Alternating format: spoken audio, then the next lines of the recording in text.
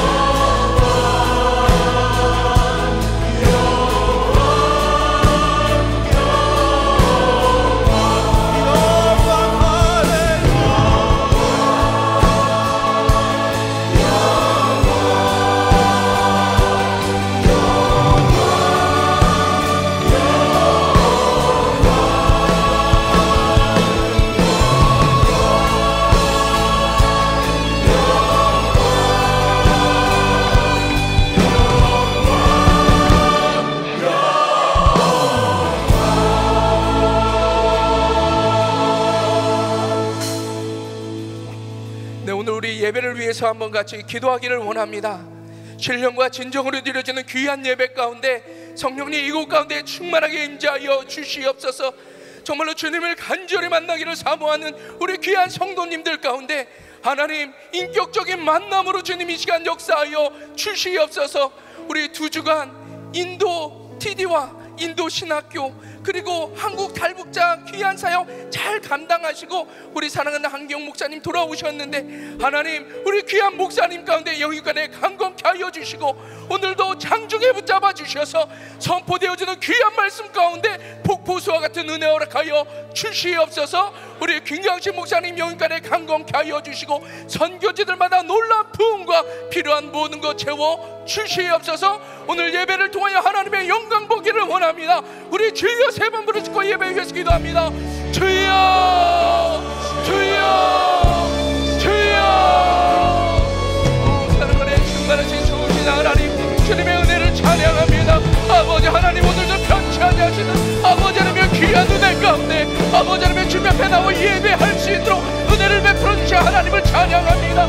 아버지 하나님의 이곳 가운데 충만하게 인자하여 주시옵소서. 아버지 하나님의 은혜를 베풀어 주시옵소서. 아버지 하나님의 전심으로 주님 앞에 때 하늘문을 활짝 열어주시고 아버지 하나님 우리에게 필요한 아버지 하나님의 귀한 은혜로 아버지 하나님의 마음껏 역사하여 주시고 아버지 하나님의 은혜를 베풀어 주시옵소서. 귀한 목사님 아버지 하나님의 붙잡아 주시고 아버지 하나님의 말씀이 우리의 심령 가운데 뿌려졌을 때 아버지 하나님의 심령이 뜨거워지게 인도하여 주시고 아버지 놀란 하나님의 귀한 은혜를 아버지 하나님의 구체적으로 체험할 수 있도록 주의 아버지 하나님의 마음껏 역사하여 주시고 아버지 하나님의 은혜 베풀어 주시옵소서 정령으로 충만케 하여 주시는 하나님의 놀라운 은혜로 아버지 하나님 이전을 가득 아버지 하나님의 채워주시고 아버지 하나님의 은혜 베풀어 주시옵소서. 아버지 하나님의 주님의 은혜 찬양합니다.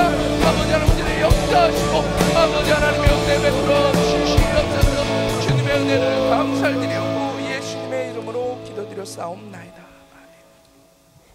예, 사도신경 하심으로 신앙 고백하도록 하겠습니다 전능하사 천지를 만드신 하나님 아버지를 내가 믿사오며 그 외아들 우리 주 예수 그리스도를 믿사오니 이는 성령으로 잉태하사 동정녀 말에게 나시고 본디오 빌라도에게 고난을 받으사 십자가에 못 박혀 죽으시고 장사한 지 사흘 만에 죽은 자 가운데서 다시 살아나시며 하늘에 오르사 전능하신 하나님 우편에 앉아 계시다가 저를서 산자와 죽은 자를 심판하러 오시리라.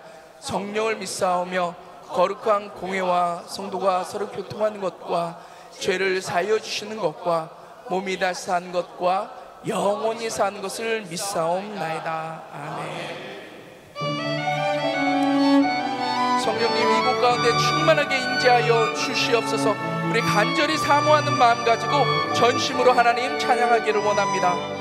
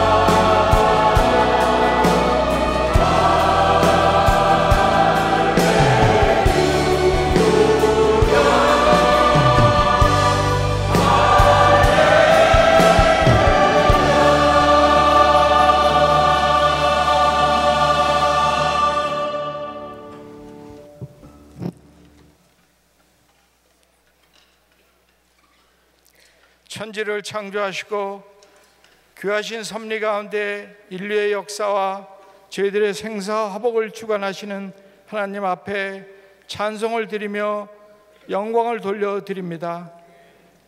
주님께서 저희들을 사랑해 주셔서 아버지 정말 죄인 중에 저희들을 택하여 주시고 십자가의 귀한 보혈의 은혜로서 저희들을 구원해 주시는 은혜 감사를 드리옵나이다. 아버지 저희들 삶 속에 항상 감사가 차고 넘치게 하여 주옵소서.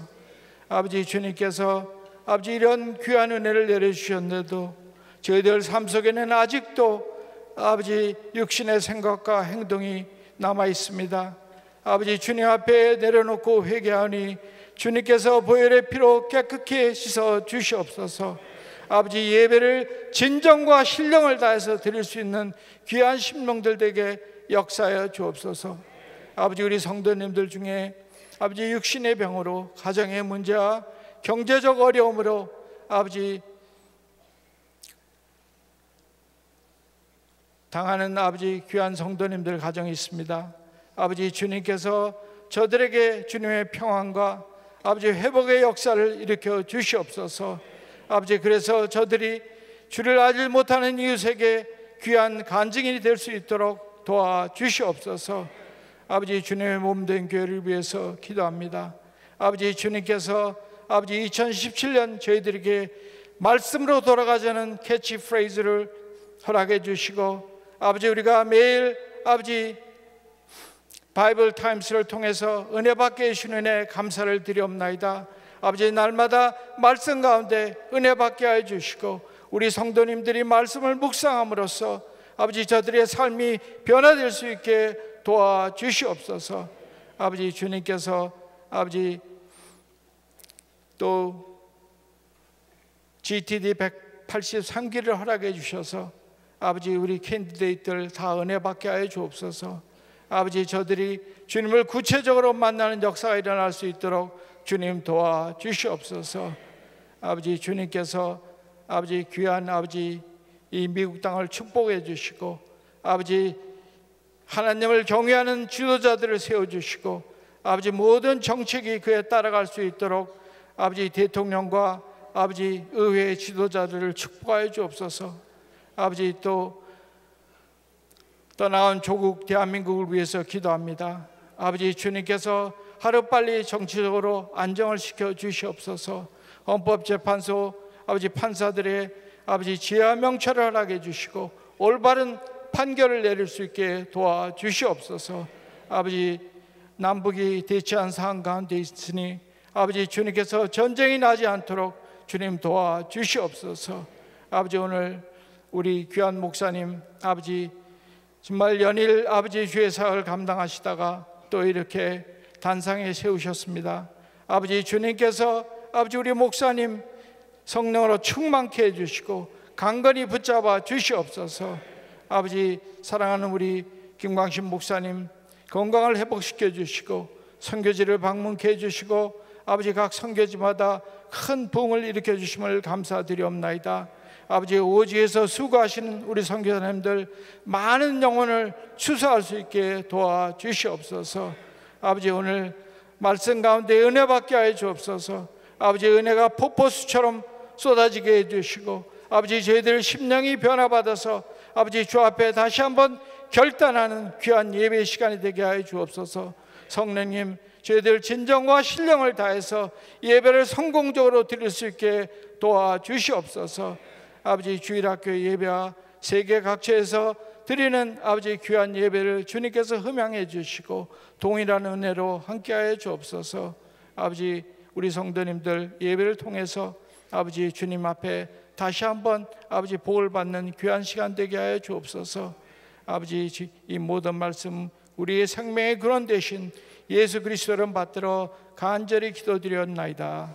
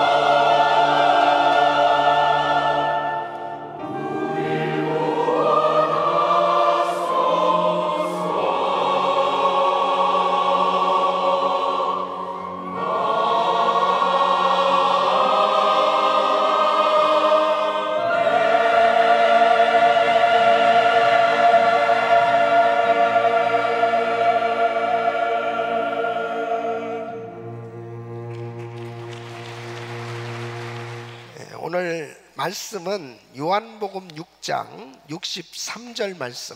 우리 큰 목소리로 같이 있습니다. 시작.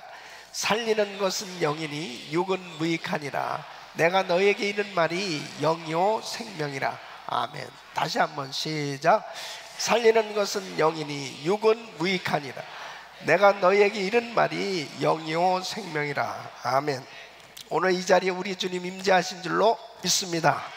이 자리에 임재하셔서 여러분 한분한 분을 만나 주시고 구체적으로 축복하실 줄 믿습니다.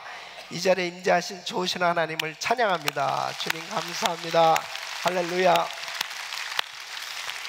예, 저는 새해를 맞이해서 성경으로 돌아가자는 주제로 예, 말씀을 증거하고 있습니다. 말씀의 중요성, 말씀의 능력, 말씀의 축복에 대해서 말씀을 증거하고 있습니다. 성경으로 돌아가야 말씀의 능력을 체험하고 그리고 풍성한 열매를 맺는 이 복된 삶이 될 수 있습니다. 우리 성도님들은 성경으로 돌아가는 말씀 부흥을 경험하시길 예수 이름으로 축원합니다. 여러분 오늘 이 말씀은 너무나 중요한 말씀이에요. 어, 요한복음 6장 전체를 잘 이해하는 것이 굉장히 중요한데요. 우리 예수님께서 보리떡 다섯 개와 물고기 두 마리 가지고 5천 명을 먹이고 열두 광주를 남기는 엄청난 기적을 행하셨을 때 사람들은 예수님을 왕으로 세우려고 합니다. 억지로라도 예수님을 왕으로 세워야 되겠다라고 하는 그런 생각을 가진 것을 주님이 아시고 어, 그 자리를 피하십니다. 왜 예수님께서 어, 그 사람들이 그토록 열광하면서 예수님을 왕으로 모시고 싶었을까요? 그것은 예수님이 왕이 되신다면은 바로 우리의 경제 문제가 해결될 수 있을 것이다라는 생각 때문이죠. 사람들은 아, 누구나 다 정말 내 육신의 문제가 해결될 수만 있다면 바로 이 육신의 문제를 해결하려고 참으로 주님을 따르는 그런 제자들이 많이 있었습니다. 근데 우리 주님께서는 바로 이렇게 말씀하시는 거예요. 어, 정말 사모하고 구해야 될 것이 있다는 것입니다. 그 어, 육신의 떡보다도 더 중요한 것은 영원한 생명의 떡을 구해야 된다는 것입니다. 바로 주님께서 요한복음 6장 27절에 이렇게 말씀하십니다. 썩는 양식을 위하여 일하지 말고 영생하도록 있는 양식을 위하여 하라. 이 양식은 인자가 너에게 주리니 인자는 아버지 하나님의 인치신 자니라. 바로 우리 주님께서는 이 세상 것으로 어, 채워지려고 사람들은 세상 것으로 채우려고 애를 쓰지만 그것은 근본적인 문제를 해결할 수 있는 것이 아니라는 거예요. 바로 영원한 이 생명, 이 근본적인 문제가 해결될 수 있는 것은 이 영원한 생명의 떡을 먹어야 된다는 것이죠. 그래서 요한복음 6장 35절에 주님께서는 자신이 생명의 떡이라고 밝히십니다. 예수께서 가라사대 내가 곧 생명의 떡이니 내게 오는 자는 결코 줄이지 아니할 터요 나를 믿는 자는 영원히 목마르지 아니하네. 바로 우리 주님께서 이 말씀을 하실 때 사람들이 이해가 아, 안 되는 거예요. 이해하지 못하는 것입니다. 아니 주님께서 이 영원한 생명의 떡을 얻을 수 있는 길이 뭐냐? 바로 주님의 살을 먹어야 된다는 거예요. 여러분 이, 에, 이 유대인들이 생각할 때 제일 혐오를 느끼는 것이 뭐냐면 아, 피를 먹어라 이런 말씀이거든요. 근데 우리 주님께서 내 살을 먹고 내 피를 마시는 자라야. 그러니까 와 이거 무슨 얘기야? 어? 아니 자, 자기의 살을 먹고 자기의 피를 마시라고? 그러면서 주님께서는 내가 하늘로부터 내려온 산떡이다. 이렇게 자신을 말씀하시는 거예요. 그러니까 41절로 42절 보면 제, 자기가 하늘로서 내려온 떡이라고 하심으로 유대인들이 예수께 대하여 수군거려 가로되 이는 요셉의 아들 예수가 아니냐? 그 부모를 우리가 아는데 제가 지금 어찌하여 하늘로서 내려왔다 하느냐? 그러면서 수군거리는 거예요. 이 도무지 납득이 안 되는 이야기를 계속 한다는 거죠.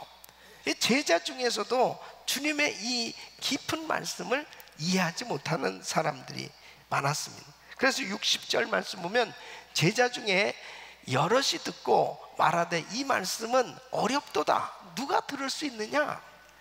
여러분 이와 같이 이 에, 눈에 보이지 아니하는 이 영의 세계에 대한 말씀은 성령님께서 도와주지 않으면 참 이해하기 어렵습니다. 바로 성경은 하나님의 감동으로 된 말씀이기 때문에 하나님의 거룩한 성령님께서 깨닫게 해주셔야만 알 수가 있어요.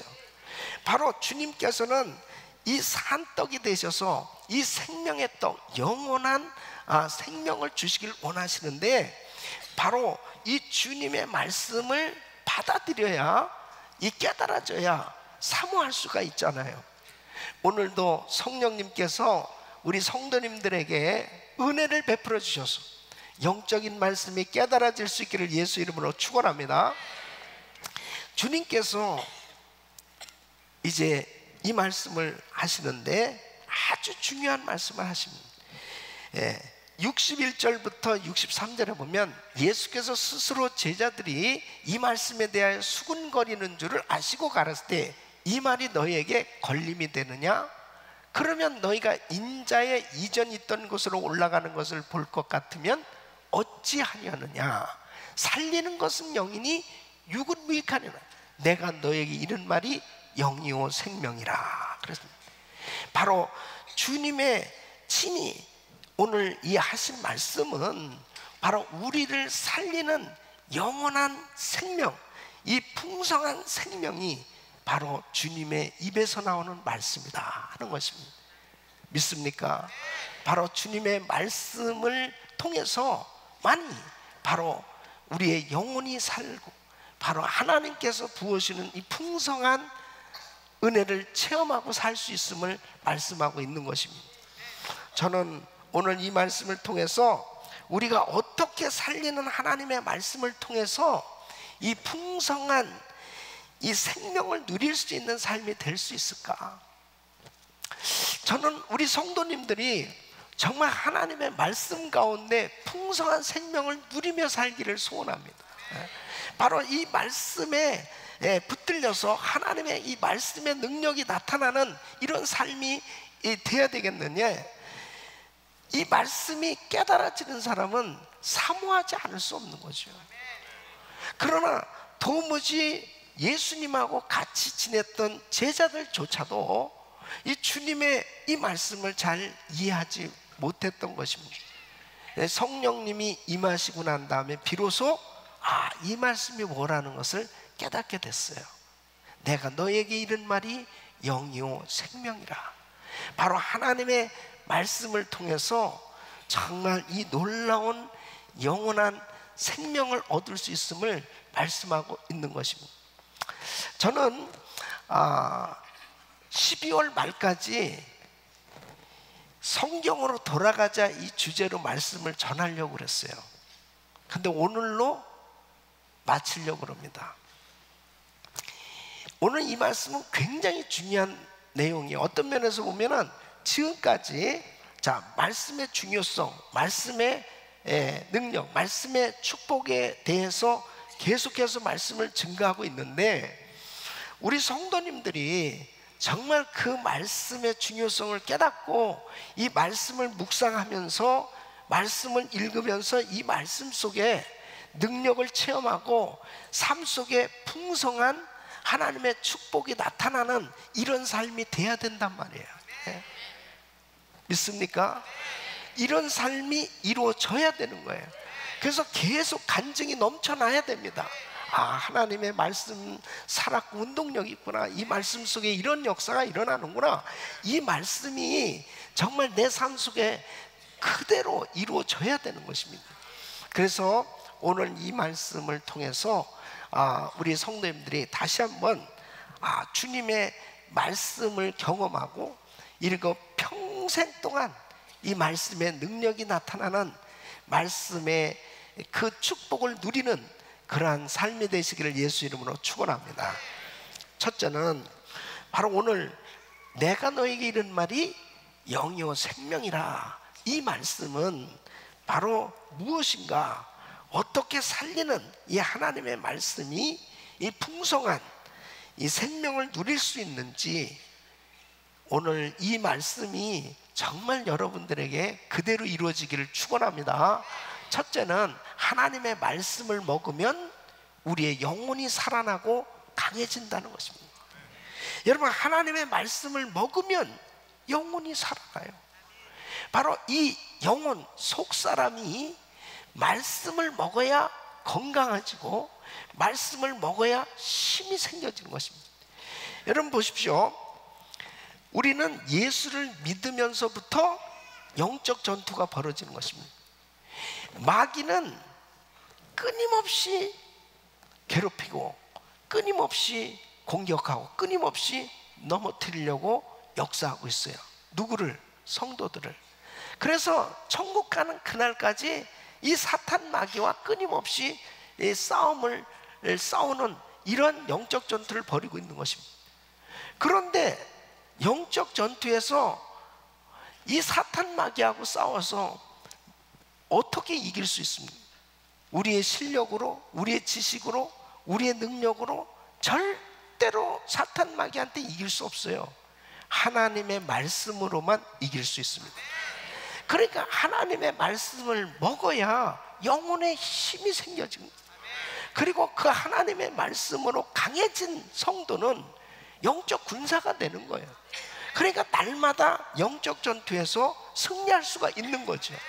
그러나 영혼이 하나님의 말씀을 먹고 자라지 못하면 신자다운 구실을 하지 못하는 것입니다. 영적 군사가 되지 못해요. 그러니까 결국은 힘이 없어요. 그 하나님의 예, 군사로서 자신 있는 그런 신앙생활이 안 되는 거죠. 그래서 하나님의 말씀을 먹으면 영혼이 살아나고 영혼에 힘이 생겨지고 강한 군사가 되니까 날마다 승리할 수 있는 줄로 믿습니다. 그래서 에레미야서 15장 16절에 보면 내가 주의 말씀을 얻어먹었사오니 주의 말씀은 내게 기쁨과 내 마음에 즐거움이오. 그러니까 하나님의 말씀을 자꾸 먹어야 영혼에 힘이 생겨지고 기쁨이 충만하고 그리고 건강한 신앙생활이 가능한 것입니다. 여러분 하나님의 말씀을 먹고 성장한 하나님의 사람들은 결국 이 땅에서 하나님의 제자로서 영향력을 끼치는 위대한 삶이 되어질 수 있습니다. 저희 이번에 어, 인도에 가서 어, 선교하면서 정말 참 하나님의 은혜가 참 컸습니다. 그것은 이번 우리 아, 그 아, 인도 TD에서 로이스타들 그 강사들을 전부 일기 졸업생들을 다 세웠어요. 그러니까 그들의 간증을 들으면서 대부분 공통적으로 이런 간증을 합니다. 자신들은 정말 소망 없이 살았었습니다. 자신들에게는 참 이러한 약점이 많았습니다. 때로는 어떤 형제는 예, 마약을 하기도 하고 그 다음에 거의 폐인과 같은 그런 삶으로 소망 없이 살던 사람이 정말 예수를 믿고 그리고 지난번 또 TD에 와서 은혜를 받고 그리고 신학교에 가서 말씀을 먹으면서 말씀 훈련을 받고 나서 자신의 삶의 변화가 일어나는 거예요. 그것은 몇 사람 앞에서도 말도 하지 못할 만큼 수줍었던 자기가 담대하게 말씀을 증거한 그리고 이제 그 일기 졸업생 가운데 이 30여 명이 이번에 팀 멤버로 참석을 했는데 그 중에 25명이 교회를 개척하게 된 것입니다. 근데 그 교회를 개척한 이야기를 한 사람씩 다 하는데 참 기가 막힙니다. 예. 맨 처음에는 어떻게 해, 어떻게 해야 될까 그렇게 생각을 했는데 이제 친척 가운데 누가 아프다고 그래가지고 기도를 해줬는데 그가 낫게 됐다는 거예요. 그러니까 사람들이 오게 됐답니다. 또 같이 기도하는 가운데 그 사람들이 병 고침을 받고 모여서 자기 교회는 벌써 40명이 모이게 되었다. 예? 그리고 어떤 형제는 이제 두 교회를 세우게 되었습니다. 어떤 형제는 저는 100개 교회를 개척하게 될 것입니다. 그러면서 자신이 정말 이런 사람이 아니었다는 거예요. 그런데 이렇게 담대하게 말씀을 외치는 하나님의 사람이 되었다고 간증할 때 하나님께서 하셨구나. 주님께 영광을 돌리는 것입니다. 할렐루야. 말씀을 먹으면 자라게 돼 있어요. 말씀을 먹으면 사람이 달라지게 돼 있어요. 건강한 하나님의 사람으로 바뀌어지는 것입니다. 그러니까 말씀을 먹어야 새 힘을 얻게 되어지고 하나님의 자녀다운 삶이 이루어질 수 있는 것입니다. 여러분 주로 천민들이 많이 있습니다. 그냥 맨발로 다니고 그리고 정말 어렵게 사는 그런 집안에서 태어나서 정말 어렵게 공부하면서 참 소망 없이 자라던 사람들이 참 주님을 만나서 그렇게 공부도 하고 변화받아서 능력 있는 주의 종들로 세워졌을 때 얼마나 하나님이 정말 위대하시고 하나님의 말씀이 위대하십니다. 그리고 우리가 일기생들 졸업했을 때 다 양복을 해줬거든요. 양복을 입고 넥타이를 딱 매고 단에 서니까 얼마나 멋있는지 몰라요. 예? 예? 하나님의 말씀을 먹으면 성장하게 되어 있습니다. 말씀의 능력이에요. 여러분 어떤 여자 자매가 예, 의사인데 이제 연구하고 환자들 보고 그러면서 계속 일만 하다 보니까 어 이제 나이는 점점 드는고 그냥 일에 빠져서 살다 보니까는 탈진하게 됩니다. 우울증도 오고 불면증도 생겨지고 의사지만은 자기가 너무너무 이 육신이 지쳐버린 거예요. 그런 가운데 자기가 쉽게 구할 수 있는 이 마약 성분의 이 신경 안정제를 자꾸 자기가 놓기 시작합니다. 그러면서 어느 시간이 지나면서는 횟수가 많아지기 시작하는 거예요. 그때뿐이요. 계속해서 마음이 불안해지기 시작합니다. 그러면서 어느 순간에 마약 중독이 된 거죠. 손이 떨리고 정신 분열이 오죠. 이제는 일도 할 수 없는 그런 폐인이 된 것입니다. 그런 가운데서 절망 가운데 빠져 있는 상, 상태에 있을 때 어떤 분이 그에게 전도를 합니다. 그래서 그 절망 가운데서 예수님을 영접하게 됐는데 그때 이제 성경을 읽기 시작한 거예요. 그 성경을 읽는데 갈라디아서 3장 13절 말씀을 읽는 가운데서 큰 은혜를 받습니다. 그리스도께서 우리를 위하여 저주를 받은 바 되사 율법의 저주에서 우리를 속량하셨으니 기록된 바 나무에 달린 자마다 저주 아래 있는 자라 하였으니 주님이 내 죄와 저주를 담당하시기 위해서 십자가에서 저주를 받으셨다. 우리 주님이 다 십자가에서 나의 저주, 나의 모든 죄를 담당해 주셨기에 나는 저주에서 해방됐다. 이 해방됐다는 이 확신을 다 갖고 이 말씀을 이 말씀이 자기의 심령에 깨달음이 오는데 그래 나는 예수님 때문에 저주에서 해방된 거야. 죄에서 해방된 거야. 그러면서 기도하는 가운데 성령이 불같이 임하고 그리고 진정한 자유함을 얻게 되는 거야. 그러면서 이제 그 지독하게 자기를 괴롭혔던 그런 불면증과 우울증에서 다 해방되어지고 건강한 육신을 얻게 된 거예요. 여러분 하나님의 말씀을 먹으면 영혼도 살고 육도 사는 줄로 믿습니다. 바로 영혼 영혼의 양식인 이 하나님의 말씀을 먹어야 살아요. 예.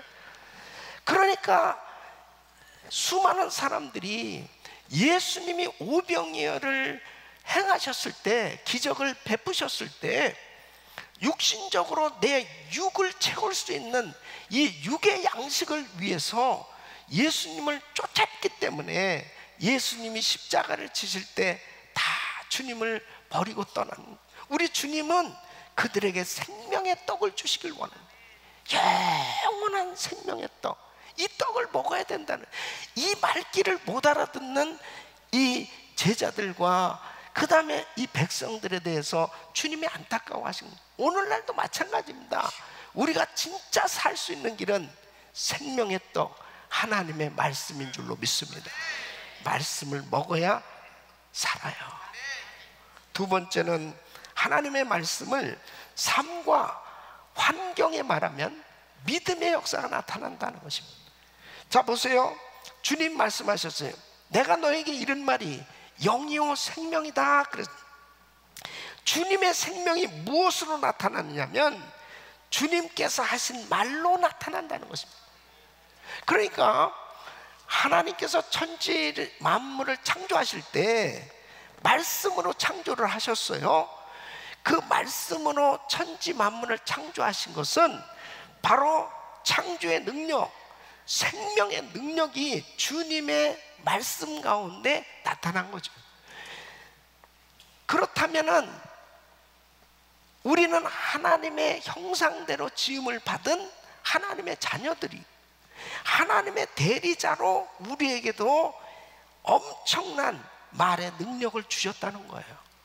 그 하나님의 말씀을 가지고 그 말씀을 하나님의 자녀들이 입으로 선포할 때 그 환경, 그 삶에 믿음의 역사가 나타난다는 거예요. 믿습니까? 우리가 말한 대로 우리의 인생이 만들어지는 거예요. 그래서 사람의 말과 그 사람의 인격은 비례하는 것입니다. 내가 계속해서 믿음의 말을 하고 살면 내 삶에 믿음의 집이 건축되는 거예요. 내 삶에 계속 사랑의 말을 하고 살면 내 삶에 사랑의 집이 건축되는 것입니다. 내 삶에 소망의 말을 계속하고 살면 내 삶에 소망의 집이 건축되기 시작하는 것입니다. 그러나 내가 부정적이고 비판적이고 계속 끊임없이 그런 말을 하면서 살면 어떻게 되느냐? 결국은 내 인생이 비판적이고 부정적인 집이 만들어진다는 사실을 아셔야 됩니다. 그래서 이렇게 말씀하고 있어요. 잠언 18장 21절 보면 죽고 사는 것이 혀의 권세에 달린 혀를 쓰기 좋아하는 자는 그 열매를 먹으리. 내가 무슨 말을 하는지 그 말이 내 삶의 열매로 나타나고 있다는 거죠. 여러분 하나님께서는 우리가 말한 대로 우리의 인생을 만들고 계시다고 하는 걸 안다면 얼마나 우리가 말하는 것이 중요한지 이루 말할 수 없습니다. 예? 민수기 14장 28절로 30절에 보면 이렇게 말씀하고 있습니다. 그들에게 이르기를 여호와의 말씀에 나의 삶을 가리켜 맹세하노라 너희 말이 내 귀에 들린 대로 내가 너희에게 행하리니 예? 너희 시체가 이 광야에 엎드려질 것이라 너희 20세 이상으로 계수함을 받은 자 곧 나를 원망한 자의 전부가 여분네 아들 갈렙과 눈의 아들 요사 외에는 내가 맹세하여 너희로 거하게 하리라 한 말이 결단코 들어가지 못하리라.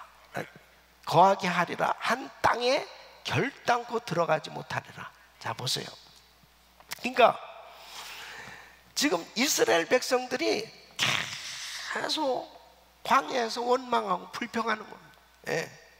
그리고 아 그 가나안 땅에 대해서도 사모함이 없어요 원망하고 불평하네 그러니까 여호수아와 갈렙만 나는 분명히 그 땅에 들어간다는 거예요. 그거 확실한. 그러니까 주님이 이렇게 말씀해요. 내 귀에 들린 대로 너에게 이루어 주겠다. 그러면서 여수아와 갈렙만 가나안 땅에 거예요.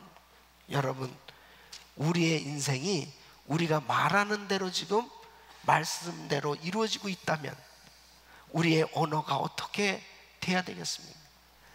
성경 말씀을 묵상하고 이 말씀이 우리 입술에서 쏟아져 나오는 삶이 돼야 될 줄로 믿습니다.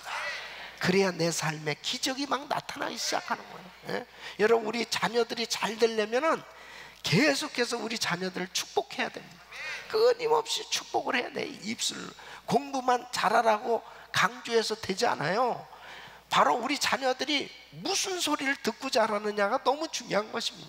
그러니까 아이들하고 함께 같이 말씀을 이렇게 묵상하고 이 말씀을 가지고 계속 축복하고 말씀을 통해서 은혜를 나눠 보세요. 이 말씀의 역사가 그들의 삶에 나타나는 거예요. 네. 그래서 저는 우리 성도님들이 진짜 잘 되기를 바라는 거예요. 그러니까 계속 성도들을 향해서 축복의 메시지를 전합니다. 예? 우리 성도들이 위대한 간증자, 축복받은 모델 성도들이 되게 하여 주시옵소서.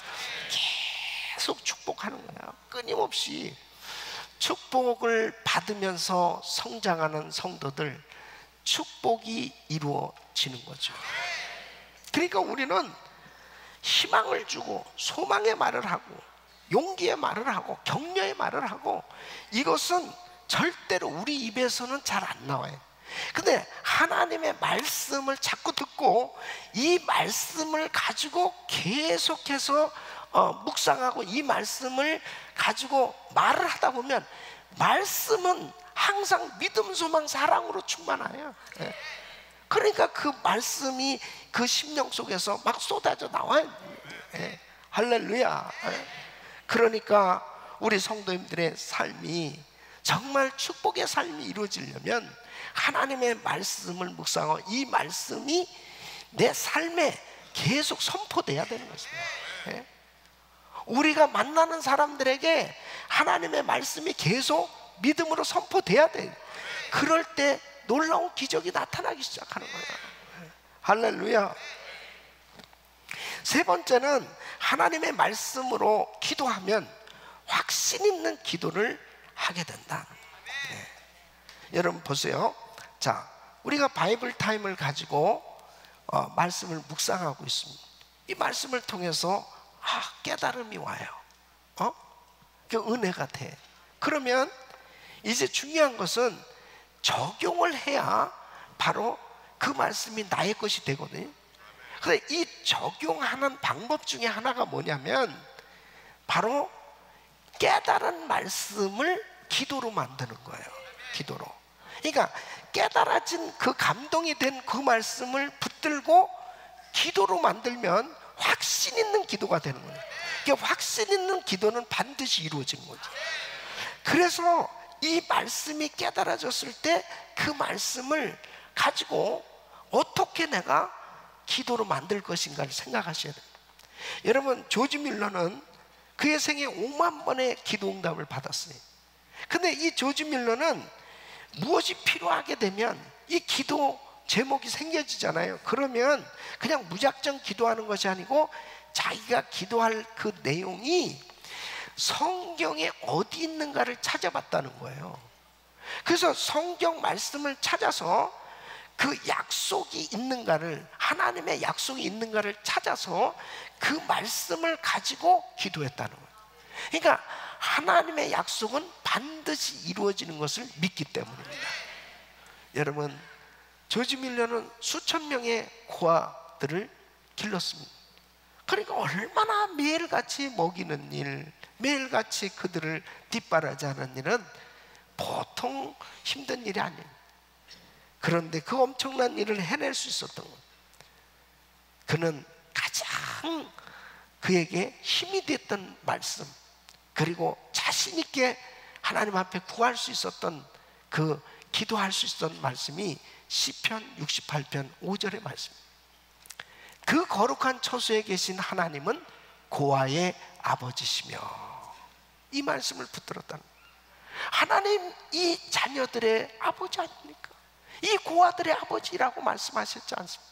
그러면 아버지가 이 자식들 먹이셔야 될 거 아닙니까? 하고 자신 있게 하나님 앞에 기도할 때마다 꼭 영락 없이 주님이 책임져 주시는 거예요.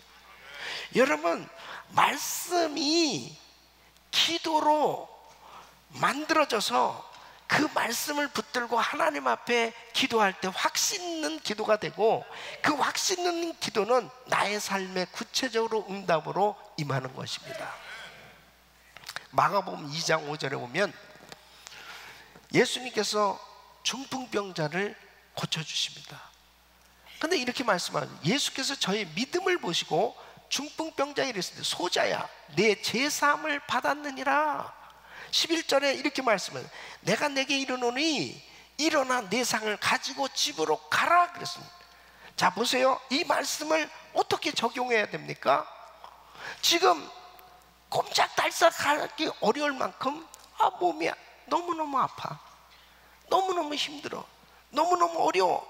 그럴 때 예수께서 한기홍의 믿음을 보시고 한기홍에게 이르실 때 기홍아 네 제사함을 받았느니라 내가 한기홍에게 이르노니 일어나 내 상을 가지고 집으로 가라 이렇게 말씀을 적용할 때 기적이 일어나는 거야 예? 그 중풍병자에게만 역사한 것이 아니고 그분은 지금도 살아서 오늘 우리에게 역사하시는 하나님이시란 말이에요. 그러니까 항상 하나님의 말씀으로 기도해야 돼, 기도. 예. 그럴 때 확신이 있게 된단 말이에요. 갈라디아서 2장 20절에 보면은 내가 그리스도와 함께 십자가에 못 박혔나니 사도 바울이 사도 바울은 사실 참 고집이 센 사람이었습니다. 사도 바울은 참 보통 고집이 예? 예, 세고 자아가 강한 사람이 아니에요. 예. 그런데 바울은 이 말씀이 정말 그에게 엄청난 그런 축복이 되었어요. 내가 그리스도와 함께 십자가에 못 박혀. 그런즉 내가 산 것이 내 안에 그리스도께서 사신 것. 내가 육체 가운데 사는 것은 나를 사랑하사 나를 위해 자기 몸을 버리신 하나님의 아들을 믿는 믿음 안에서 사는 것이라. 내가 그리스도와 함께 십자가에 못 박혔나니 나의 자아가 주님 십자가에 못 박혔습니다. 나의 고집이, 나의 이기심이, 나의 욕심이, 나의 교만이 십자가에 못 박혔습니다. 나는 이제 주님, 주님이 나를 통하여 영광을 받아 주시옵소서. 이렇게 기도하기 시작하는데 자기가 깨지기 시작하는 거예요. 얼마나 많은 사람들이요. 아, 진짜 예수 믿고 구원을 받았는데 이 자아가 너무 거야. 꼼짝도 안 해. 꼼짝도 안 해. 어? 그냥 뭐. 근데 참 감사한 거는 사도 바울이요. 그렇게 은혜를 크게 받았어도 바나바하고 대판 싸우고 피차 갈라선이라는 나는 그 말씀 보면 참 은혜가 돼. 네? 야 대사도 그렇게 어마어마하게 막 그냥 획가닥 뒤집어져 가지고 막 어, 눈도 멀 만큼 그렇게 하나님한테 엄청나게 깨진 이 바울도 또 살아가지고 예? 그냥 바나바하고 대판 싸우고 피차 갈라서는 예? 그렇게 바울이 강했던 사람이에요. 그러나 나중에 디모데 후서에 보면은 이제 다 세상 떠날 때가 됐을 때 흐물흐물해져 가지고 예, 진짜 완전히 죽은 모습을 볼 수 있습니다. 왜 그렇게 된 줄 아세요? 자기를 쳐서 주님 앞에 날마다 나는 죽노라. 날마다 자기를 쳐서 주님 앞에 복종시. 하나님의 말씀을 붙들고 기도해야 자기가 깨지죠. 하나님의 말씀을 붙들고 기도하지 않으면 이 자아가 절대로 깨지지 않습니다. 자기 고집, 자기 교만, 자기 생각 이런 것들이 충만한 상태로 있을 때 주님이 쓰실 수가 없는 거예요. 주님이 좀 쓰시려고 그래도 너무 자기 자아가 강합니다. 그래서 우리는 말씀이 깨달아지면 이 말씀을 기도로 만들고 기도하면서 정말 말씀 속에 깊이 들어가면 확신 있는 기도를 하게 되면 놀라운 능력이 임하는 줄로 믿습니다. 여러분 어떤 자매가 정신병원에 입원하게 됩니다. 이 자매가 정신병원에서 몇 달을 지내면서 고통 가운데 있었습니다. 근데 어느 날 하루아침에 그냥 정상이 된 거예요. 그러니까 너무 놀래서 아니 어떻게 이 자매가 이렇게 정상이 됐을까 알고 봤더니 이 자매가 다니던 교회 중보기도 팀이 있습니다. 근데 이 중보기도 팀이 한 10명 정도 되는데 그들이 날마다 이 자매를 놓고 기도를 하는데 잠언 31장 25절 26절 이 말씀을 가지고 이 자매의 이름을 불러가며 기도했답니다. 능력과 존귀로 샌디의 옷을 삼고 후일을 웃으며 샌디의 입을 열어 지혜를 베풀며 그 혀로 인애와 법을 말하며 그러면서 그 자매의 이름을 집어넣고 계속 집중적으로 기도했다는. 능력과 존귀로 샌디의 옷을 삼고 후일을 웃으며 샌디의 입을 열어 지혜를 베풀며 이렇게 계속 기도한 가운데 정말 이 자매가 온전해졌다는 것입니다. 여러분 말씀의 능력 있는 걸 믿으셔야 돼요. 그래서 하나님의 말씀으로 기도하면 정말 확신이 와요. 그리고 그 말씀은 이루어지는 것입니다. 우리 사랑하는 성도 여러분, 정말 이렇게 귀한 말씀들이 있어요. 이 말씀을 완전히 기도로 만들어서 정말 매일같이 깨닫는 말씀을 기도한다고 해보세요. 엄청난 변화가 일어날 줄로 믿습니다. 네 번째는 하나님의 말씀을 믿고 순종하면 기적이 나타난다는.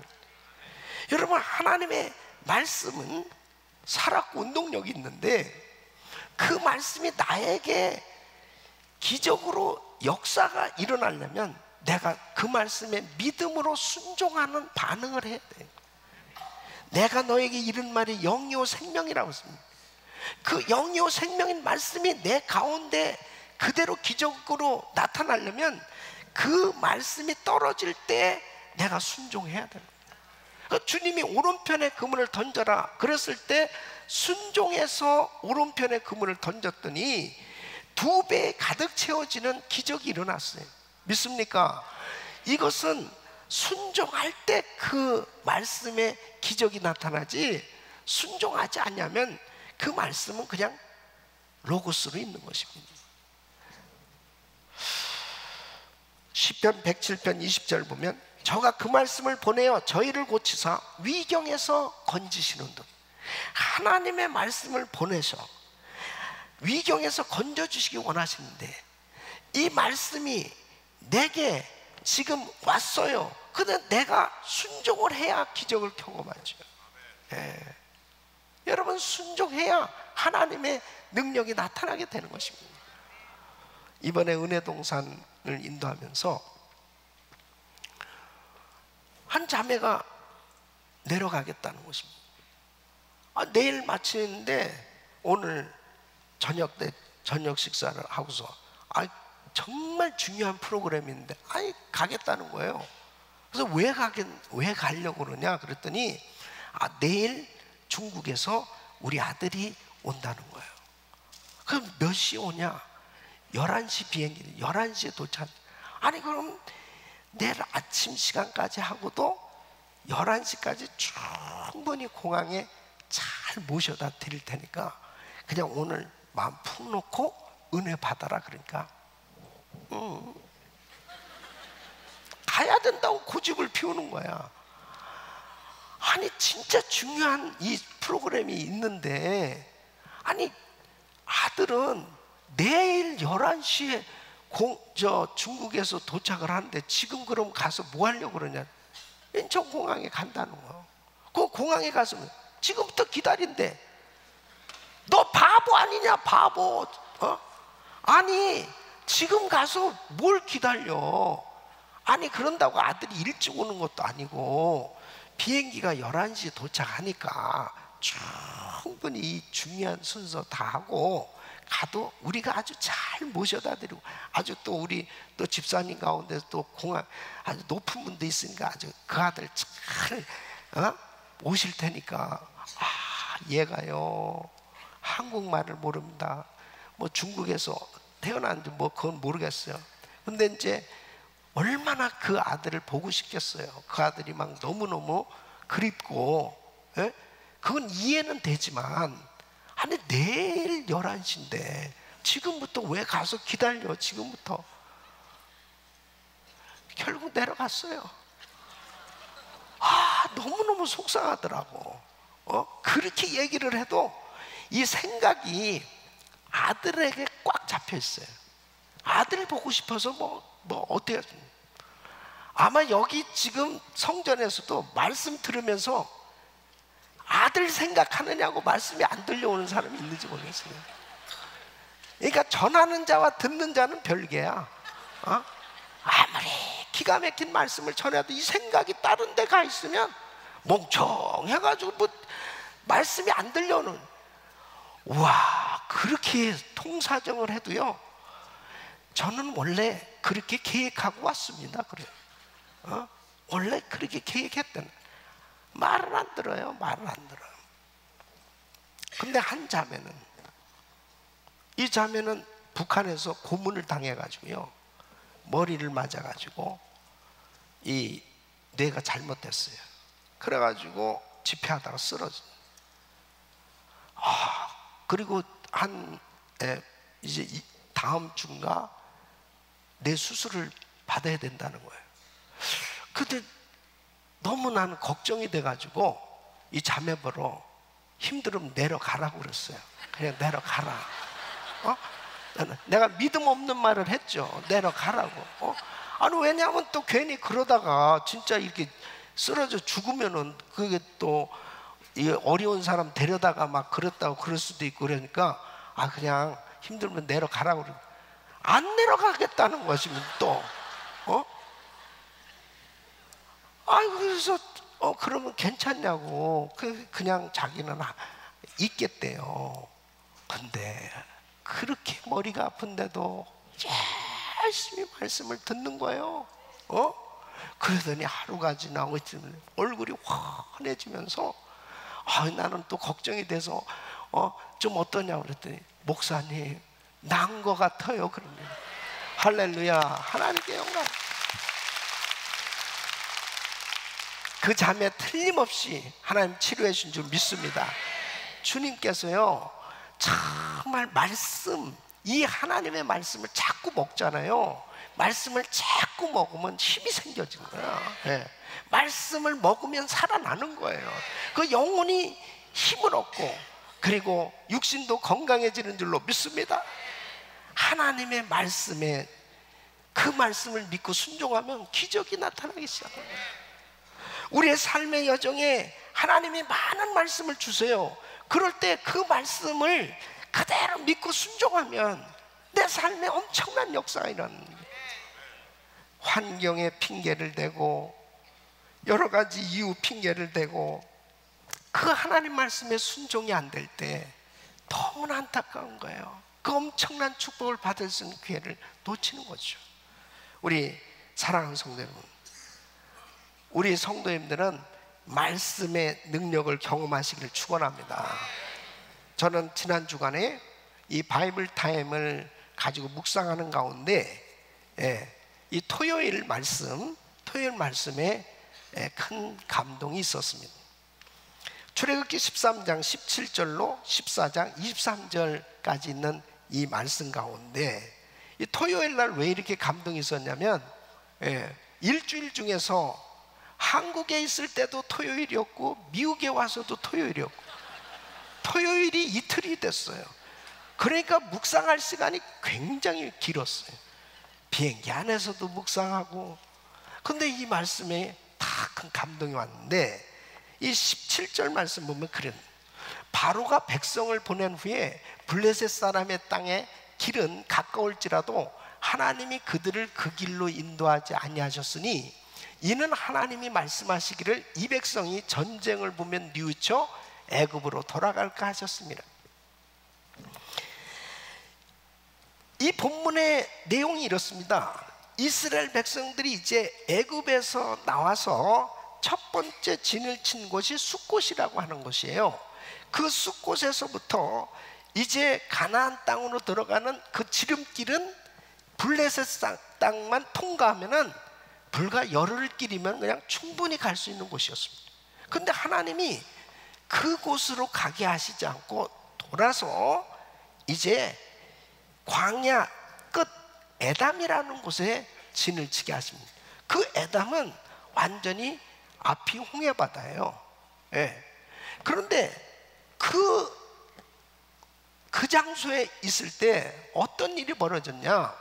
뒤에서 애국 군대가 막 추격해 오는 거예요. 이 백성들이 막 놀래가지고, 야, 이거 큰일 났다.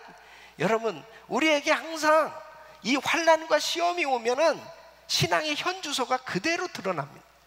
지금 이스라엘 백성들이 애굽에서 빠져나와서 막 얼마나 exciting 했겠습니까? 아, 하나님 정말 어, 위대하시다. 열 가지 재앙을 통해서 애굽의 왕 이 바로의 코를 납작하게 하시고 정말 우리가 어, 승승장구하듯이 막 그냥 어, 기쁨을 이렇게 딱 나왔는데 이런 일이 벌어요. 앞에는 홍해바다, 뒤에는 애국 군대가 막 거의 어? 자기들에게 미친 이런 상황 가운데 있을 때 11절로 12절 보면 그들이 이렇게 말합니다. 그들이 또 모세에게 애굽에 매장지가 없으므로 당신이 우리를 이끌어내어 이 광야에서 죽게 하느뇨? 어찌하여 당신이 우리를 애굽에서 이끌어내 이같이 우리에게 하느냐? 아, 우리가 애굽에서 당신에게 고한 말이 이것이 아니 이르기를 우리를 버려두라. 우리가 애굽 사람을 섬길 것이라 하지 아니하더뇨. 애굽 사람을 섬기는 것이 광야에서 죽는 것보다 낫겠노라. 와, 사람이요 정말 아주 급해지면은 본전이 나온다니까. 완전히 싹 돌아서 가지고 아니 왜 애굽 사람 섬기겠다니까? 왜 우리 여기다가 어? 우리 내버려 둬왜 우리를 일리 데리고 와막 그러면서 모세한테 막 대드는 것입니다. 예? 하나님께서 이스라엘 백성들을 얼마든지 블레셋 땅 통과해서 가나안 땅에 쉽게 들어가게 하실 수 있죠. 아니 여리고성을 그냥 간단하게 무너지게 역사하신 하나님이 블레셋 군대 그 정도야 간단하게 해결하고 그냥 바로 가나안 땅 들어가게 하실 수도 있어요. 그럼에도 불구하고 하나님께서 이렇게 이 백성들을 정말 사면 초가에 몰아넣어서 이러지도 못하고 저러지도 못할 만큼 이런 위기를 겪게 하시는 그 이유가 뭘까? 그냥 가나안 땅에만 들어간다고 그게 축복이 아니라는 거죠. 가나안 땅에 들어가서 하나님을 제대로 섬겨야 될 텐데 지금 이 이스라엘 백성들의 의식이 어떻습니까? 과연 지금 준비가 됐냐고요. 축복받을 준비가 됐냐면 벌써 입에서 나오는 말이 이렇게 부정적이고 하나님 앞에 믿음의 말을 하지 못하는 이 이스라엘 백성들의 이런 영적 상태 가지고는 가나안 땅에 들어가는 것이 그게 축복이 아니죠. 가나안 땅에 들어가 봐야 금방 가나안 사람 돼 버리죠. 그러니까 이렇게 사면 초가가 되어졌을 때 하나님이 누구신가? 정말 우리가 왜 하나님을 믿어야 되고 우리가 믿는 하나님이 어떤 분인가를 확실하게 체험하게 하시기를 원하신 거예요. 그래서 하나님의 사람으로 완전히 만들어서 어디다 갖다 놔도 정말 하나님을 섬길 수 있는 하나님의 사람으로 훈련시키시길 원하신 거예요. 여러분 우리에게 때로는 정말 어처구니 없고 안타깝고 너무 속상하고 너무 괴로운 그런 환란이 닥쳐올 때도 있어요.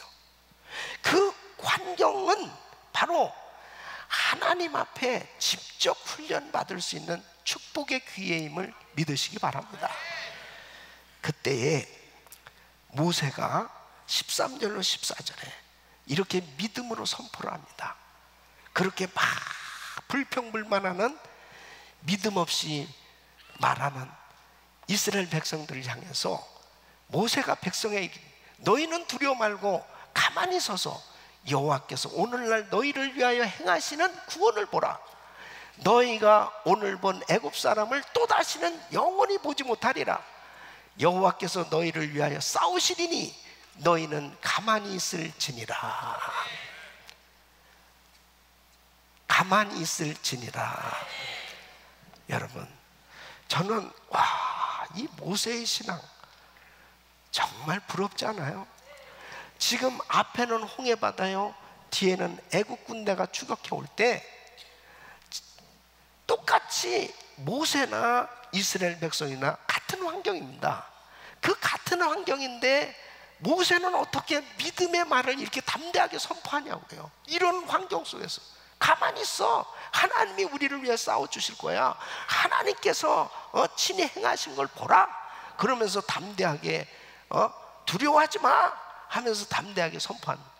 막 같은 상황인데도 이 백성들은 막 두려워서 뭐 난리를 치고 그런 상황이 벌어졌습니다.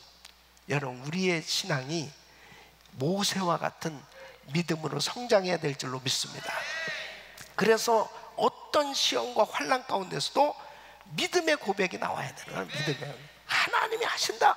이 믿음의 고백, 그 믿음의 고백이 나올 수 있는 건 뭐예요? 모세는 분명히 하나님의 약속의 말씀을 믿었기 때문에 순종하는 겁니다. 순종해서 믿음의 말을 하는 거예요. 지금 할렐루야. 그때 하나님은 정말 놀라운 말씀을 하시죠. 자, 이제 저 홍해 바다를 향해서 아, 손을 내밀라. 홍해가 쫙 갈라지면서, 예? 갈라지면서 이스라엘 백성들이 쫙 홍해를 육지같이 건넜는데 우리 하나님이 얼마나 일하시는가 보세요. 친히 싸우시는가 보세요. 이 구름 기둥이 앞에서 쫙 인도하셨다가 뒤에서 애국 군대가 쳐다오니까 구름 기둥이 다시 뒤로 쫙 가가지고 이 애국 군대를 막아요. 그러니까 애국 군대는 막 안개에 막 휩싸여 가지고 막 앞으로 가지도 못해요. 그 사이에 동풍을 쫙 불어 가지고 홍해 바다를 쫙 어?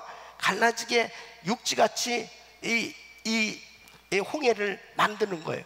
그러면서 또 다시 쫙 주님이 얼마나 급하신지 일하시느냐고 정신이 없어요. 막 그러면서 이 백성들을 이끄시는 것을 보십시오. 그러면서 이 이스라엘 백성들은 쫙 홍해를 건넜는데 그 속에 이제 애굽 군대가 쫙 치고 그 안에까지 들어갔어요. 여기까지가 토요일 범이에요.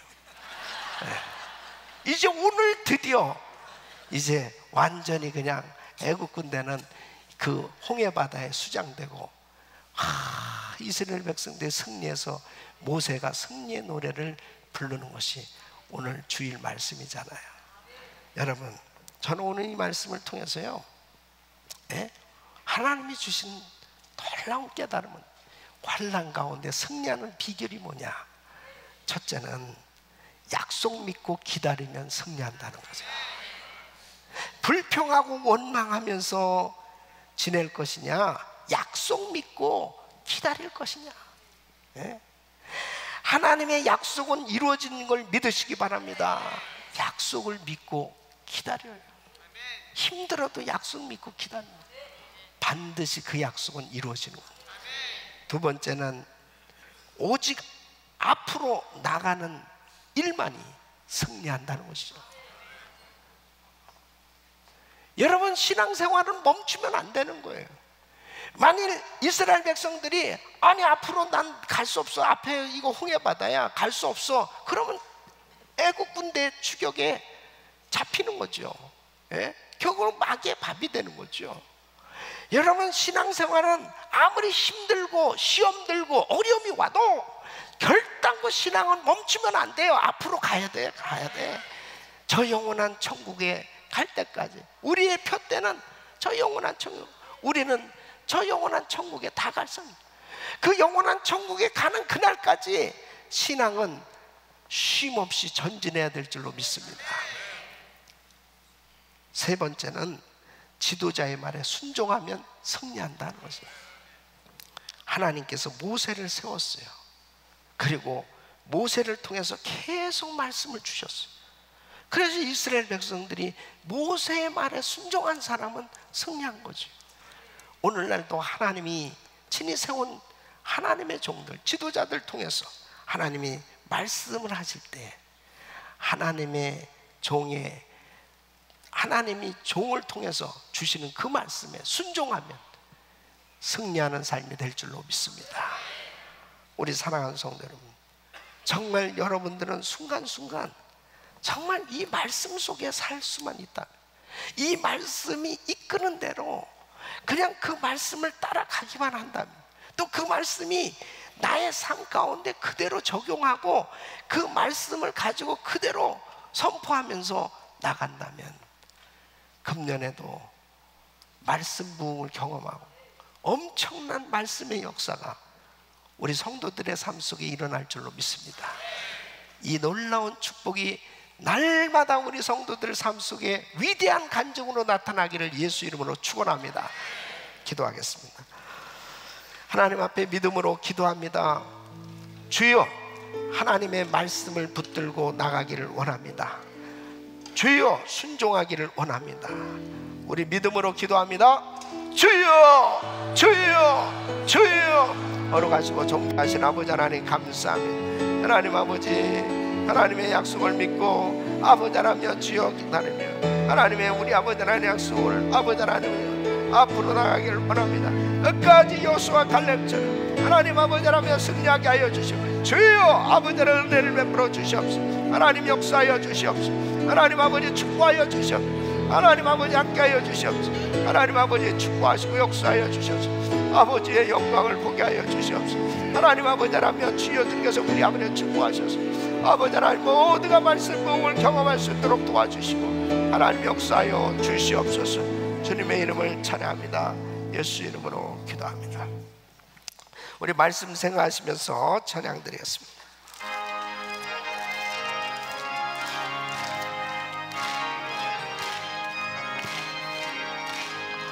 이 눈은 아무 아니 되어도 믿음만을 가지고서 늘 걸으며 이 귀에 아무 소리 아니 들려도 하나님의 약속 위에 소리 걸어가세. 믿음 위에 서서 나가세 나가세. 의심 버리고 걸어가세. 믿음 위에 서서 누가 위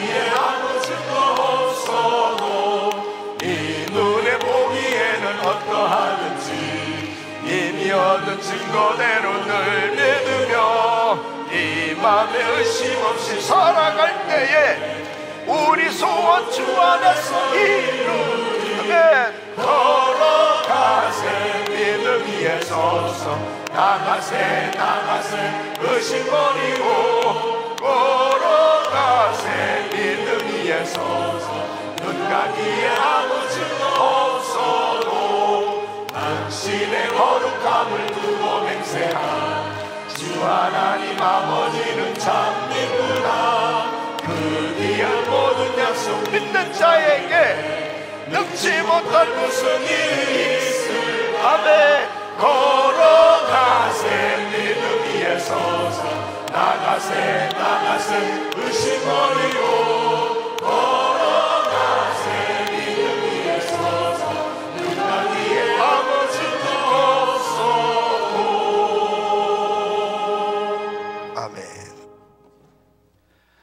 할렐루야 왕이신 나의 하나님을 찬양합니다. 지난 한 주간도 세상 속에서 저희들 은혜 가운데 또 믿음으로 말씀으로 살게 하시고 특별히 인도 단기 선교와 은혜 동산을 은혜 가운데 마치게 하신 주님 감사와 찬양을 드립니다. 오늘도 사랑하는 한 목사님의 귀한 말씀을 통해서 영원한 생명의 떡을 구하고 또 풍성한 삶을 누리는 저희들의 삶이 될 수 있도록 주님 축복하여 주시옵소서. 오늘 말씀 믿은 들은 대로 믿고 살아가는 다음 한 주간이 되게 하여 주시옵소서. 지금 이 시간 마음과 정성을 다해 믿음으로 예물을 올려드립니다. 저희들의 마음의 중심을 보시고 한 주간도 은혜 가운데 있게 하여 주시옵소서. 감사드리며 사랑하는 우리 주 예수 그리스도 이름으로 감사하며 기도드렸습니다.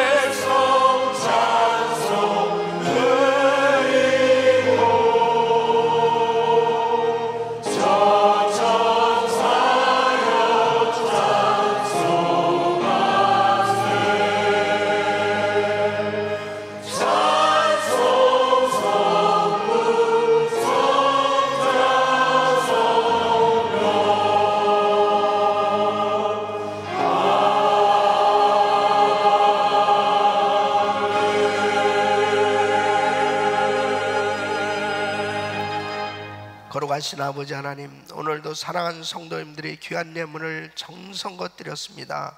이 예물을 연락하시고 주께서 축복하셔서 평생 살아가면서 말씀의 능력 말씀의 축복이 충만히 임하는 삶이 되게 하여 주시옵소서. 집의 일을 구별해 드리고 의병일을 드리고 일천번제로 이 모양 저 모양 작정하여 드린 손길들을 기억하시고 평생 물질 걱정하지 않아 수많은 사람들의 후이 베풀고 나누고 마음껏 세계 성경 마무리를 위해서 쓰임 받을 수 있도록 복의 복을 내려 주시옵소서. 예수님의 이름으로 간절히 간절히 축복하며 기도합나이다. 아멘.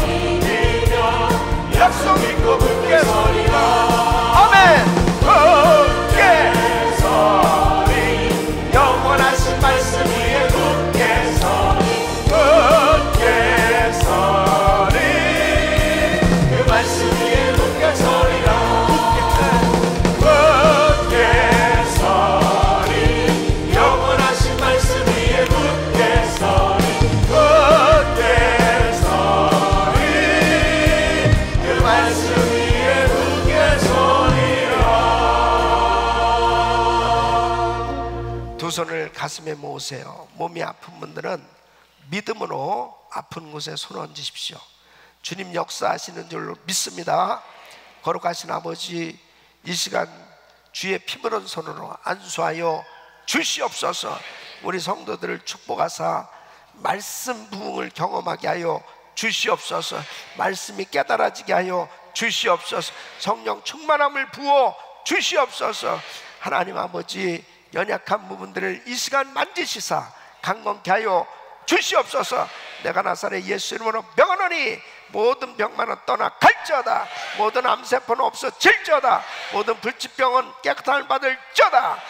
모든 흑암의 사역들은 가정에서 떠나 갈지어다 자녀들에게서 떠나 갈지어다 교회에서 떠나 갈지어다 사업장에서 떠나 갈지어다 예수 이름으로 놀라운 하나님의 복이 임할지어다 이제는 우리 구주 예수 그리스도의 은혜와 우리 하나님 아버지의 그 무한하신 사랑과 성령님의 감동 감화교통 충만하신 은총이 성경으로 돌아가는 말씀 부흥을 사모하며 하나님의 말씀을 먹으며 날마다 힘을 얻고 승리하는 삶이 되기를 원하는 말씀에 순종하여 내 삶 가운데 기적이 나타나는 삶이 되기를 원하는 모든 성도들 머리 위 이제로부터 영원토록 함께 있을지어다. 아멘